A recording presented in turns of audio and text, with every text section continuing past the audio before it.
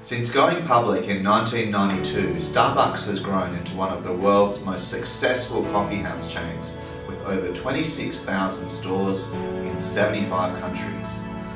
Much of the company's success can be attributed to its industry best practice supply chain management. Starbucks' ascendancy in the market in recent years has come under increasing threat from global giant McDonald's, who have diversified into the coffee space through their Offering. I recently met with the Starbucks senior executive team and they were able to shed some light on how they're utilising their supply chain management to remain competitive and sustain growth into the future. Starbucks utilizes a push-pull supply chain where coffee and other supplies are pushed to retailers based on demand forecasts, and finished products such as our venti iced vanilla latte are subsequently pulled by customer orders.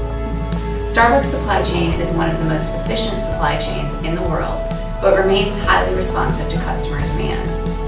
We offer a broad menu of coffee beverages and allow customers to create their own off-menu items.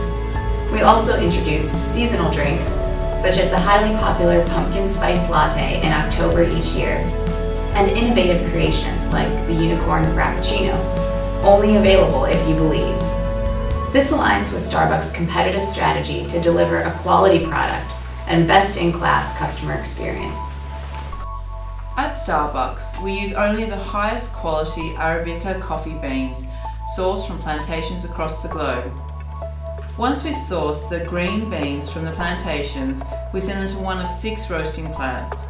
We have strict procedures for tracking the origins of the beans. Our beans are very important to us, and we know that they are very important to our customers.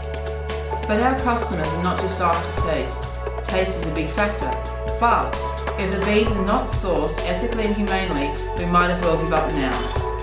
We have a lot of pride in our beans and also in our harvesting processes. Did you know that coffee beans are the second most traded commodity after oil? And they're subject to significant volatility. At Starbucks, we sort out only the best beans, which tend to trade at a negotiated premium above the coffee commodity price, dependent on supply and demand at the time of purchase.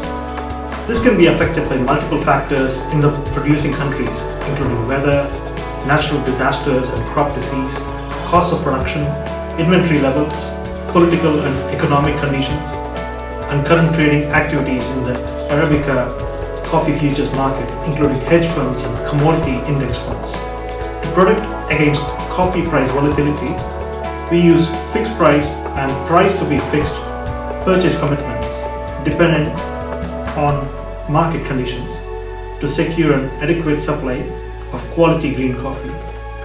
Fair trade also guarantees coffee growers at a set price prior to harvest, which has led to more privately negotiated deals with coffee co-ops. At Starbucks, the objective is to ensure a regular and ongoing supply of coffee beans to the stores around the world and reduce stockouts. The inventory management system is closely aligned with the company's supply chain. At the cafe, inventory management involves a combination of office automation and manual monitoring. Inventory is comprised of unroasted coffee, roasted coffee, merchandise, and supplies. Levels vary according to the seasonality, commodity market supply, and price fluctuations. To maximize the efficiency of our operations and minimize costs, the Starbucks supply chain relies on an accurate demand forecast. To facilitate this, the supply chain team consists of demand planners, supply planners, replenishment planners, and, and the commercialization team. They oversee the operations from start to finish to ensure that there are no gaps in the supply chain. Starbucks cafes have high-tech Clover coffee machines which connect to the cloud to communicate the performance of the machines and to track customer preferences. The headquarters can track the trends in real time and be responsive. At Starbucks, we have four coffee plant locations in the US and one in the Netherlands. We also partner globally with many co-manufacturers who produce dairy products, baked goods and paper items for our stores. End products are distributed across nine remote distribution centres, seven of which are operated by third-party logistics companies. Starbucks' retail location strategy focuses on urban centres, especially those with large middle and upper class populations Most of our stores are in densely populated areas. Starbucks often uses strategic clustering of cafes in the same geographic area to gain market share and to make it difficult for competitors to enter the market. Starbucks' forward strategy for our facilities is to move to more renewable sources of energy, with 149,000 solar panels delivering clean energy to power 600 Starbucks stores in multiple locations across America coming online this year. We are the number one purchaser of renewable electricity in the retail sector for 2016. Starbucks has created and refined a global logistics system.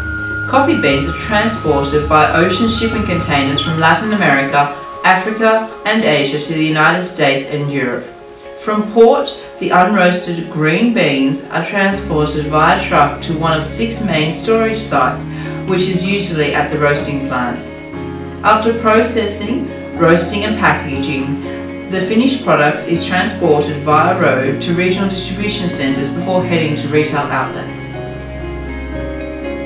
As a competitive analyst for Starbucks, I do a lot of market research on our main competitors, particularly specialty coffee shops and quick service restaurants.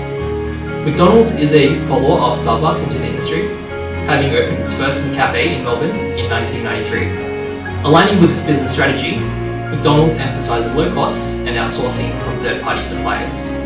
Its highly efficient transport network utilizes third-party logistic providers such as Martin Brower to supply inventory through a dedicated fleet of trucks to centralized distribution centers. McDonald's continues to push the efficient frontier by becoming more responsive to consumers while also lowering costs. In its five largest markets, 75% of the population, or 1 billion potential customers, live within 3 miles of a McDonald's store. They are rolling out self-ordered kiosks to reduce stress on the front counter, provide better order accuracy, and increase customer satisfaction. Starbucks sustainably sources 99% of their coffee compared to only 37% at McDonald's. However, they have vowed to reach 100% sustainable sourcing by 2020, putting direct competitive pressure on Starbucks. To maintain customer loyalty and reignite growth in same-store sales, we're increasing customer engagement via the Starbucks mobile app. The mobile app allows for a highly responsive customer experience, including personalized purchase recommendations and loyalty discounts anywhere in the world.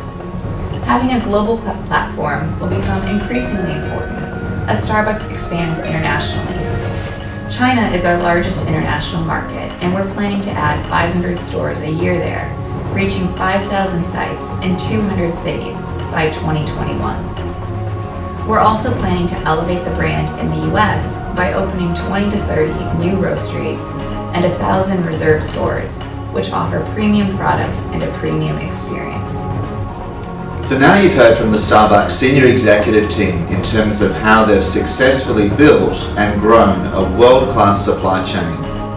With rapid technological advancements changing the supply chain process and the rise of strong competitors such as McDonald's, it remains to be seen if Starbucks can replicate previous success stories and create a bright and prosperous future.